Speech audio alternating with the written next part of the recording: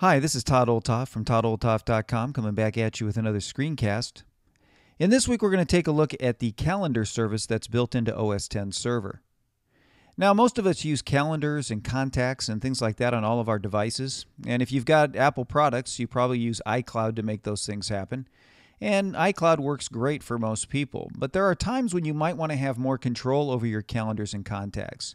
Maybe you want to keep them private. You don't trust that information being in the cloud, or you want to run your own calendar or contact server just to be able to uh, keep keep on top of those things. Or maybe even you want to run a joint calendar or contacts um, uh, uh, database that your users then can connect to and share together and have that information sync back and forth. And so if you want to do that, uh, OS X Server does have uh, those services built in. So in some ways, you could have your own cloud, so to speak, with those two services. So today what we're going to do is look specifically at the calendar service and show you how to set that up and how it works so that you can use that to connect it to all of your various devices. Now this is the calendar service right here and you see we've got two main areas. We've got the access area and the settings area and uh, then we have the location and resources down here. And so what I'm going to do is walk you through uh, each and every one of those. You can see the service is off right now, and the status shows that it's offline. Now that'll change once we turn uh, the actual calendar service on. So let's look at this permissions area, which again, this area is new uh, in Yosemite server in that it's got uh, the ability to fine tune who can have access to what within the service itself as opposed to behind the scenes. So if I just click on edit over here, you'll notice that I can allow connections from either all users or only some users. And so if I switch it to only some users, then it allows me to uh, type in who I want to have access. So let's assume for a minute that I only want my work group to have access to this service. If that's the case, I would just start typing in work group, and you can see the work group shows up here. And so I can select that specific group. Uh, but there's also network accounts, network services, network users. Uh, I can kind of fine tune it down to what I want. let's just say work group is what I want. So if I put that, that means that only the people that are in the work group will have access to the calendar service. And I can also do specific users if I want to. Uh, it's up to me on how I want to set that up, but I can really fine tune the access at the user level. Now, I'm just going to go back and say all users in my case. Now I can also fine tune where people uh, when people are connecting from particular networks. So I can also fine tune the networks. I can say any network which would be what you would want, uh, you know, for your uh, remote access and all of that. I can say private networks, or I can say only some networks. And if I do that, uh, it'll include private networks, and then I can put in uh, any other networks I want, right? Networks from this Mac, or I can create a new network. So if you're set up where you've got multiple networks uh, under one roof and you want to have access from those particular networks only, you can actually limit the networks where people will have access to your calendar server. So again, it kind of gives you um, fine-tuned control on how that works. So we're going to go back to all networks here, just say cancel. We're going to leave it alone for right now. Now, in the settings area, uh, we've got a couple of settings here. Uh, the first is we've got enable invitations by email. And what this does is it is allows you to send email invitations, and it's designed specifically to work really with the mail service that's built into server.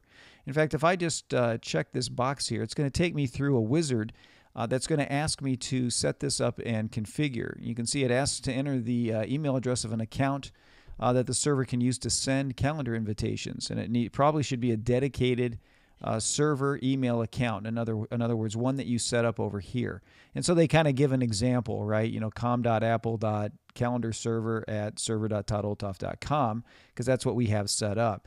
And so you can put that in there, and then that will basically uh, look for invitations and continue to ping the server. Now, if you choose to put an external email address in here, uh, I would recommend against it. Uh, as I've said in past screencasts, I had uh, this happened to me where I put in a uh, my own email address in there, and it kept pinging my email server so that my provider thought I was getting spammed, and so they shut off my email. And it took me a little while to figure it out. I had to use a tool like Little Snitch to make that happen. So uh, that's I've got some screencasts on that uh, tool. It's a great firewall wire tool, and it allows you to see who's phoning home and all of that. And so uh, that did kind of mess me up. So I just want to let you know that you really want to use this in tandem with the actual mail service. So I'm just going to say next and leave that alone. And then what it has you do is set up your um, IMAP or POP server here for the email where you're putting in your username and password uh, whether you're using SSL or not. And then if you go next, you have the outgoing mail server uh, stuff as well that you would put in. And if I say next, then it's going to set this up for me and it's going to use this email to look for email uh, reservations. What I'm going to do is cancel this because I don't need it, but I wanted to walk you through that to have you see what that looked like. So again, if you're not using the mail service, I would leave this off and just let that go. Now we also have a push notifications area here, which we have not set up push notifications yet. Uh, this allows your data to be pushed uh, whenever any changes are made to your calendar. It's going to push those changes to all of your devices, and so this is a really nice service to have, so that you don't have to refresh and uh, and do uh, do this manually. And so we're going to come in here and say edit and we're going to enable push notifications. And so what it asks you to do is to put in your Apple ID and your password, and then it's going to give you a certificate for push, not- push notifications with Apple. And so I'm going to go ahead and put that information in here. So it's whatever your Apple ID is. And so once I have that in there, I would click Get Certificate. Now it's going to ping Apple's servers to create a certificate for me to enable those push notifications. And, uh, you know, depending on your bandwidth, it might take a little while. And so there we go. Now I've got the certificate. It says, uh, you know, it's got my Apple ID. It shows when it expires in a couple of years. And so I can come in here to renew it later if I need to do that or if I want to change it, I can do that as well. So I'm going to say done on here. And so now you can see push notifications is enabled. And I've really enabled push notif notifications now for all my different devices. If I was to come back up here to server and go into settings, you can see now push notifications is enabled here as well. So doing it once for one service enables it for all the services you've got uh, on your server. All right, now that we've got that set up, we do have this area down here for locations and resources. And this really comes in handy if you're running a business and you've got rooms that people need to book for meetings, and you've got uh, resources or devices that they can also check out for those meetings. For instance, like projectors or um, computers or things like that. And the locations uh, is, like I said, different offices or rooms so that people can schedule those on your calendar so you know when those rooms are booked or whether they're open or not. And so that as people go to check to see if rooms are open, they can see the ones that they can access and the ones they can't. So in our case, again, I'm looking at it as a home server. So let's just uh, click the plus here. And so now I can add a new location. You notice I can do a location or I can do a resource. So in this case, let's do a location.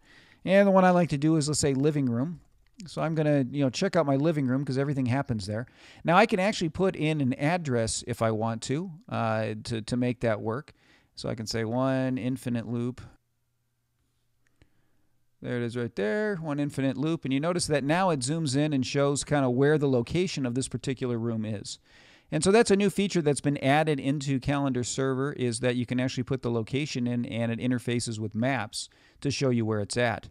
And so I'm just going to leave that there. I can put a delegate in as well, and that's someone who can view and manage the resources using Calendar. So if you've got somebody uh, in the office that you want to manage these things, you could actually put their name in there. And then in scheduling, you can say accept it if free, decline if busy, or what you can say is you can set have a setting for it. You can accept all invitations. You can accept all invitations if free, accept if free, or decline if busy. You can require delegate approval before somebody accepts an invitation. So, in other words, uh, you could have someone who's monitoring the rooms and the devices, and they approve it or not uh, before any invitation gets uh, gets sent through. Or you can decline invitations if busy, or decline all invitations. So, this is a new addition that gives you fine-tuned uh, access to figure out how you're going to handle the invitations that get sent. So we're going to leave it uh, at the default accept if free, decline if busy. And then you can say accept group. And so uh, invitations from members of this group are always going to be accepted no matter what. So if you got a CEO or somebody who really needs the room, whenever they want, uh, they get uh, privileged access. You can put their name in there, and then anytime they do it, it's automatically accepted. So I'm just going to leave it like this. There's my living room. Uh, I'm going to say create. And so now it's created this uh, location of living room. Let's go ahead and do one for uh, resources as well. So we're going to say resource. And so you notice it changes. Now we've got a projector and we don't have a, a location on here. And let's say in my house, we're going to say this is, let's say, the Xbox One. All right. So everybody fights over the Xbox. So I'm going to put that in there. Uh, again, I can do the same thing. Put a delegate, say if accept if free, decline if busy, or accept if uh, accept a particular group. I'm going to leave it like that so that that way uh, people in my family can actually check out the Xbox so no one's fighting over it. And we're going to say create. And so now I've got that there. So I've got my Xbox One, I've got my living room there, I've got everything set up. If I ever want to edit it, I can just highlight it and click on the pencil, and it brings up the screen here to edit it. I'm going to say cancel. So now that I've got all everything set up and everything's ready for my calendar service, I'm going to go ahead and throw the switch here and it's going to say, do you want to allow access from the internet? Because it's going to open the port on my base station.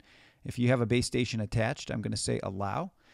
And as you can see, now that I've thrown the switch, the status is available on the local network at server.local. And there it goes. Now it's switched over to my actual server because it's reachable over the internet. I wanted to show you how that works, that when Apple basically does its reachability uh, test, it will come back and let you know if your server is reachable on the internet or only on your local network. And so that changed over. That means that the port's open and everything's ready to go. And if I go back over here to reachability, uh, it's showing my services that are available, and you'll see calendar service shows up there. Now, this has been a little quirky. Sometimes it works, sometimes it doesn't work well. If you hit the refresh button here, it'll test the services again, but I wanted to show that to you. Let me just uh, click done. And then let's go back into the calendar service. So now that we've got calendar all set up and ready to go, what I want to do now is I'm going to show you on a remote machine how you can set it up and access some of these locations and resources. Okay, here we are over on a remote computer. I'm screen sharing into this computer. And what you want to do to set up calendar is there's a couple of ways you can do it. You can do it within the calendar app itself, or you can do it through system preferences. So here I am in system preferences, and what you want to do is go to the internet accounts section here. And on the internet accounts section, you want to go ahead and uh, click the plus here to add a new account. And you want to add an other account. And then you want to add an OS X server account and say create. And so this is going to bring a drop down here that has you enter your server address. So uh, you can see here I've got my local server that I could click on there, or I can enter my server address. And so for those of you who want to do that, it would just be, you know, server, whatever you set up. Like that. And so you put in your server address and say continue. And then it's going to ask you um, for your name, your account, and your password. And so I'm just going to put, now let's put my name in here. Then you want to put in your account name, which would be your short name, and then your password. And then you say set up. And what it's going to do is, it is attached to the server and it's going to automatically say, okay, here are the services that I find available on the server. It finds calendars and reminders because those are connected. And so I can say, all right, go ahead and add those. I'll say done. And what it's going to do is add these two services to my list and it's adding it to the calendar. And so there I've got my server services set up right there. What I'm going to do is I'm just going to shut this down and let's go ahead and take a look at the calendar application. And here we are in calendars and you notice that we've got this OS X server area added here and I've got my OS X server calendar. So this is the calendar app on my server. Okay, now let's go ahead and add a uh, an event, and let's just see how this works. So let's say on uh, Tuesday here, I'm going to double click. I'm going to add an event. And I'm going to call the event, you know, Xbox Night. Okay, there's my Xbox Night. I got that ready to go. Okay, so that's set. Now let's say I want to add a location. Now if you remember, I had the location living room. And there it is right up there, living room right here. And so I'm going to click on that. You notice there it says it's open. It's got a check there. It says living room's open. It's all set. If I highlight this, you can see I can copy the location, but I've got living room there. That's where I want to have the event. And so I've got, you know, different invitees that I could add. So I can invite uh, somebody else. Let's just say I'm going to invite, um, you know, let's say I invite myself. I'll send one to me. I'm going to invite myself. So there we go. You can see I'm available. So I've been invited. I could add other invitees as well. Uh, I can also just check uh, availability if I wanted to do that, which would, if I did that, it would check the availability on my calendar if I want to do that. You can see there's the living room. There's myself as uh, invited. I'm also the organizer, and it shows that, yeah, this time frame is fine. I've got that all ready to go. It's actually going to be Xbox morning based on the time that I've got, but you can see that all invitees are available and the space is available as well. So that's one way that I can check. And then I can just say send because I'm all set and ready to go. And so now what I've done is sent an invite uh, for that. If I just, uh, again, double click on it, get it to come up. I've sent an invite for it. It's at one infinite loop. You can see that it's already got the uh, map on there ready to go. Uh, it's going to be at the living room at this address, and I've, I've sent this out to my invitees. And so the other person then would get the invite, can accept it, and then I'd get the green check mark that everything's okay and they've accepted that event. As a matter of fact, on the side here, you can see I've got a plus one there. Let me just click on that. Since I sent it to myself, you can see here I've got the invitation. It says that it was accepted. Everything's good. I can say okay. And so now everything's ready to go. Our uh, event is happening. It's been accepted by myself. and the, the event is happening. So that gives you an idea of how the uh, calendar application works, um, and it works pretty well. It allows you to work just with a full function calendar, just like you would if you were using iCloud. Now, one more thing I wanted to point out, and that is that when you set up calendars by users, basically each user has their own private calendar. Those calendars aren't shared across all of your uh, different devices. And so, if you wanted to have a shared calendar that everybody in your company would use, then the best thing to do would be to come in here and actually create a shared calendar. And I would actually just name this calendar, you know, shared calendar like that, and then basically add a, add a password, a username and password, um, put it as services only as opposed to local only. And I would add this shared calendar account and then have your users log into this same account. And then that way, everybody is sharing the same calendar information back and forth. So that's just kind of a shortcut on how to do that if you wanted one corporate calendar that everyone was sharing. So that's all I have for this week. I'll be back at you next week with another screencast to help you learn how to do more things with your Mac.